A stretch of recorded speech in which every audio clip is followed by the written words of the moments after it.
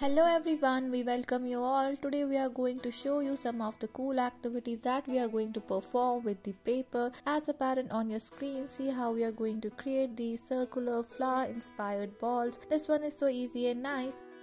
Let's come to our next activity for this. We are taking this check pattern sheet and then we are folding it in the different directions. You can just pause the video so that you can just have a clear look and you can follow the same steps like we are doing here. Difficulty level of this type of the activity is somewhat medium difficult but it's so good and easy. Go for this one. It's best suitable for the kids between the age group of 8 to 9 you just have to make the folds so perfectly so that it will look the perfect butterfly. This is so good and nice.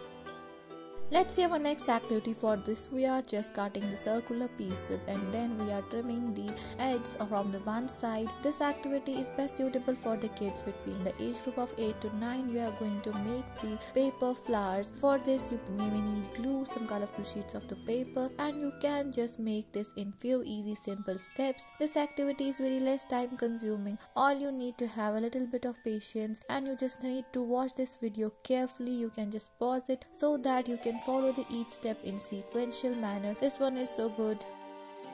With the help of this plastic bottle, we are going to make bow and arrow. You may require a sharp scissors for this one and a rubber band and a toothpick that will act as the arrow. This one is so good and you will have fun while you are playing with this.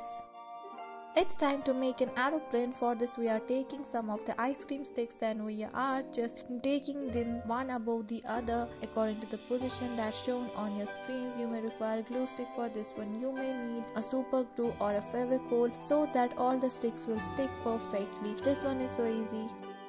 From this old tape roll, we are going to make a beautiful blossom inspired painting. This type of the activity is best suitable for the kids between the age group of 9 to 10. See how easily we have made it perfectly. You may require a toothpick stick so that you can hold it. This one is so nice.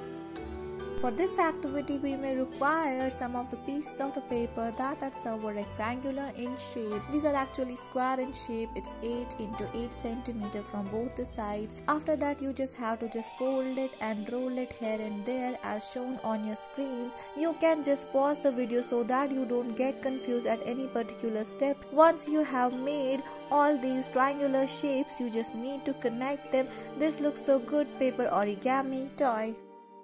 We will now try to make another type of the broom. For this we are taking some of the straws and we are just cutting them according to the shape that's apparent on your screen. Then with the help of the glue gun we are going to fix all the bristles that we have created together. This activity is very simple and easy. Thank you.